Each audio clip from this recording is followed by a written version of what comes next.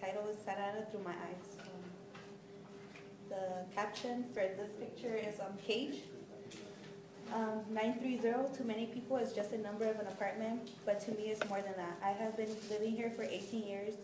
It's not one of the nice looking apartments in my neighborhood, but I am just thankful for the roof over my head. Um, my father's sister also live in the same apartments, but I honestly never felt close to my cousins. When I was young, I seriously felt like a prisoner in my own home. Now that I'm older, I can go out at times, but it's like I'm still chained, like just like a dog, and I can only go so far. I have bittersweet memories of my home. I don't know how much longer I'm going to stay here, but when the time comes for me to leave, I know I'm going to miss it. The next picture is, um, the caption is my sanctuary.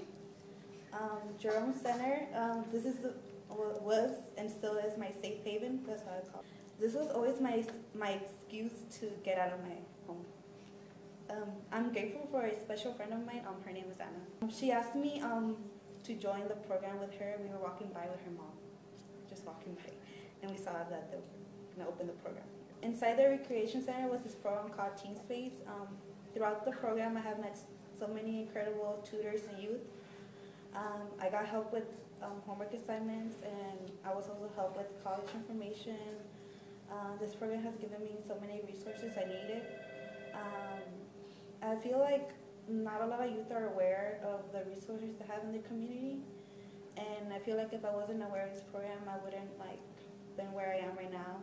I would have been stuck with college stuff and other things. The senior center, um, the caption is a place with different meanings. Um, um, the famous senior center, according to myself, I should say. Um, this place was so many things to me. When, when I was young, it was this place where I got free gifts during the Christmas year at the center. Um, when I got older and started volunteering, it was the area where I went to do the cooking program, and I got to eat. the people that know me are aware that I love to eat. um, it also became the spot where I went to the um, get snacks at the vending machine.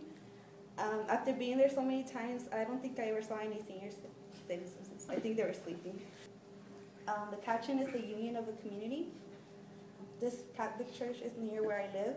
Um, was a smaller church, but um, in the same location, but it was just um, small church, and they had to, it's still there, but they had to rebuild, I guess, a bigger one for more people.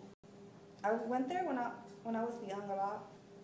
I also keep in mind that well, like one time when I went with my grandparents, I went to church um, with my whole family. Um, my grandma pinched me during church because, according to her, I wasn't paying attention.